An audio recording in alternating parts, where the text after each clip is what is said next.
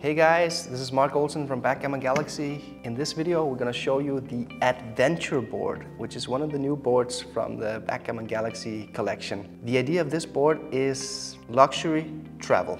That's the concept of this board. For you, those of you guys like me who don't want to play at a lousy little travel board, we designed this board so you get the full luxury experience even though you're just playing on a, on a small travel board. So let's have a look. Uh, it has this beautiful black frame. We covered it with leather so that it can take some scraps here, no problem. And let's open it up and have a look at this beautiful board. So it comes with this super cool travel-friendly checker box. Let's open it and you know what, let's put it over here. And uh, the checkers are 35 millimeter checkers, so they're smaller than a regular tournament board. But uh, you still get exactly the same high quality checkers as you do on the Earth board or the Void board. They're beautiful, these checkers. Small, travel friendly, a joy to play on. I personally don't like playing backgammon on all these cheap little travel boards, so this board is just perfect, you know, if you're going to the beach club or to a cafe or you just want to hang out with your wife or girlfriend, have a quick game. I think this is the perfect board.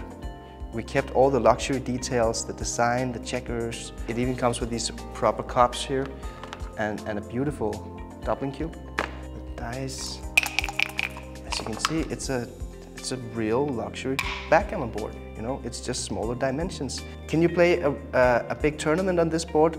You could, but it's a little bit small. But you could because of the, the high quality. But that's not what this board was meant for. We maximize portability and luxury. And uh, yeah, we, we're very proud of this board. Let me show you how small this board actually is. Here we have a comparison. This is the Void board in the background and this is the adventure board in the front ground here.